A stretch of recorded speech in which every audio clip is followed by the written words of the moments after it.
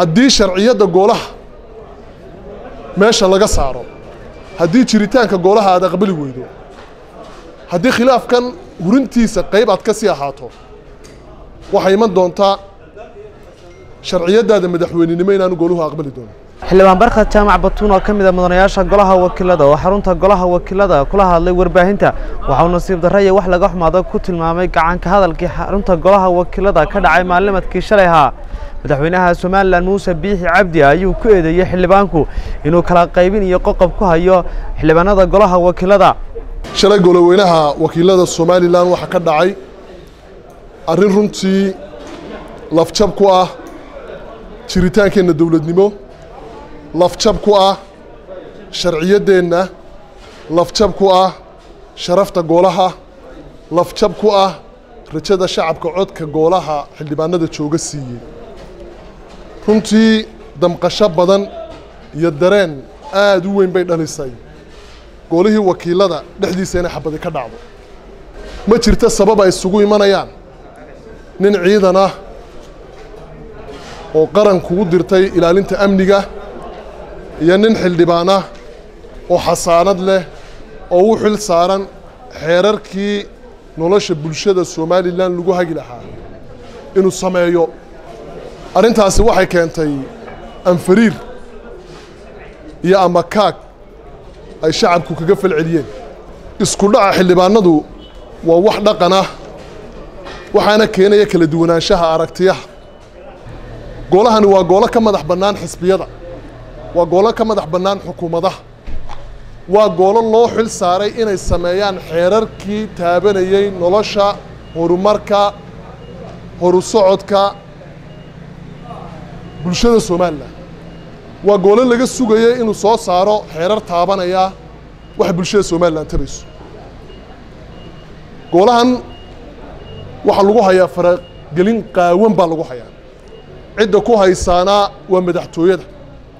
Madaxtooyada somalilan ayaa faragelinta goolahan laga wadaa oo la doonayaa in laga siyaasadeeyo. Madaxweynaha somalilan wuxuu madaxweyne ku yahay wuxuu dalka taladiisa ku hayaa wuxuu hiidi of state ku yahay wuxuu distoorka xuquuqda ugu qoran uu ku haystaa waa sharciyad. Goolahanna wuxuu wax ku yahay waa sharciyadda. Mudane madaxweyne adigoo odaygii qaranka ah adigoo mas'uulkii dalkan lagu doortaya adigoo labiyo siddeetanka xildhibaan ee goolaha joogaaba inamadaada yihiin adigoo danta qaranka kala wada hadli karaya adigoo somalilan odaygeediiya waa ku ayaandariyo arrin xumo. Inaad subax kaste xildhibaanno tiro kooban madaxtooyada intaad kula shirto aad ka soo umaamado khilaafka golaha. Arrin xumada kale jirtaa waxa weeyaan in hay'adihii kale dawliga ahaa ee dhexda ka noqon lahaa qadiyadahan loo isticmaalo brobagandada golaha. Waxay la muuqataa arrintaasi arrin odaynimo iyo mas'uuliyadeed maaha iskuwadka goolayaasha taladooda ka dhex noqoshahooda intaasiba waa mas'uuliyad ku saaran oo oday aad ku tahay.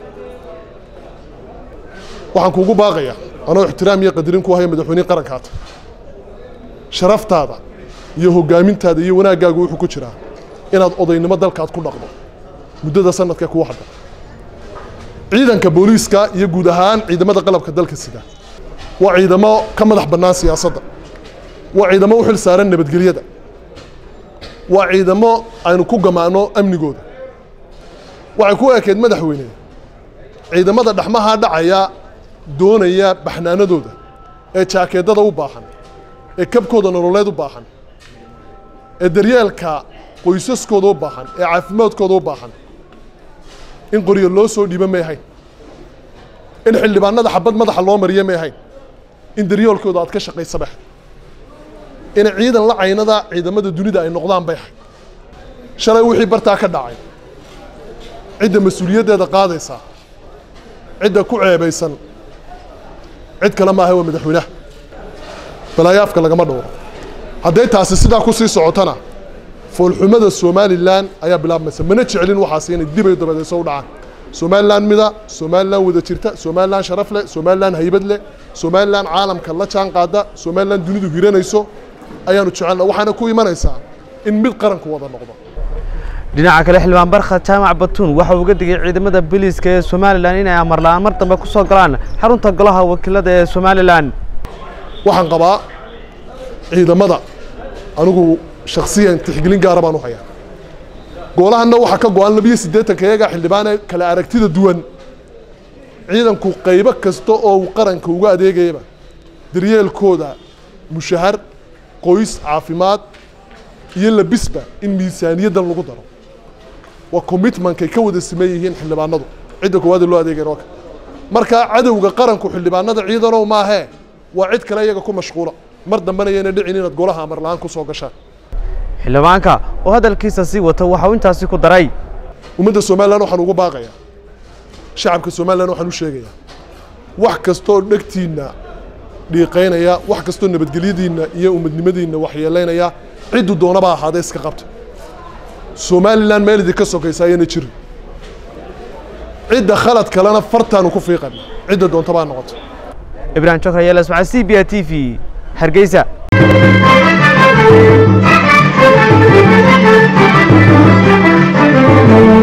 hadal. Oo hadal oo hadal oo ku hadal. bishii oo dhan toddoba dollar. oo keliya. Ku darso fariin kasta oo aad dirtaana waa kuu bilaash. Haddaba si aad ugu shubato adeega kaafiye fadlan garaac xidig siddeed eber siddeed afargees ama xidig laba eber laba afargees isticmaal shabakadda ugu ballaadhan geyga somalilan